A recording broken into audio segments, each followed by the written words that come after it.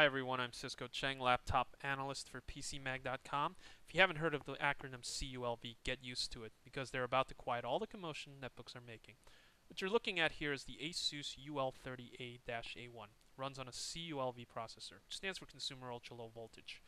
Next to it here is the Apple MacBook Pro 13-inch. The ASUS stands a little taller because it uses a bigger battery in the back. Otherwise, it measures about 0.8 inches thick in its midsection and uses aluminum metals at the top, just like the MacBook Pro. Stack the two together, you can really see how thin the Asus is. It's not the only CULV laptop in town though. Lenovo makes one that's as thin with textures. 13 inch panel is bright and houses a 1368 by 768 resolution.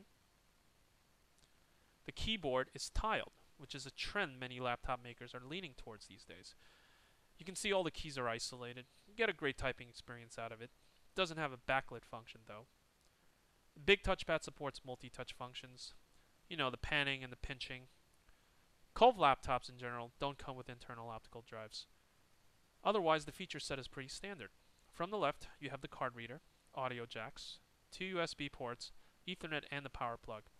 On the other side, you get VGA, an HDMI port, and another USB port.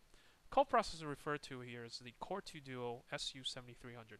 It's a dual-core processor and runs on 4 gigs of DDR3 memory.